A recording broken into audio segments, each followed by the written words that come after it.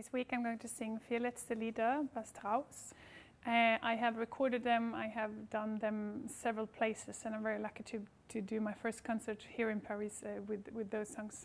The last song, Im Abendrot, has um, one of the most amazing beginnings, I think, uh, for the orchestra. Maybe also the, the part about the rose is also very, very special. But Im Abendrot, I guess it's, it is, is one of my favorite songs.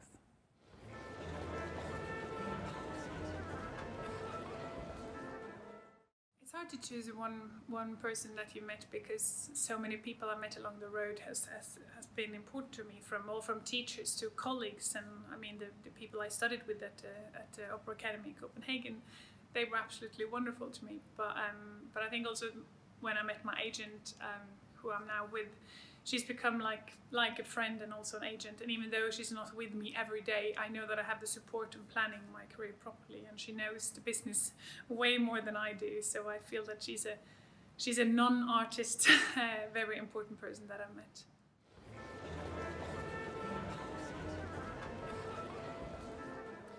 Yeah, I, I love doing the, the Ariane of Naxos in Aix-en-Provence with Orchestre de Paris, and, um, and I'm happy that we're doing Strauss again. He's absolutely one of my favorite composers, and, and these songs, um, I believe one can do them in a way forever because they're so so important, and, and it changed the meaning from different aspects of life, and um, and then it's nice to take them up with with the story that Ariane of Naxos represents such a such a yeah, um, epic story in many ways. It's nice to do Strauss with the, with this orchestra.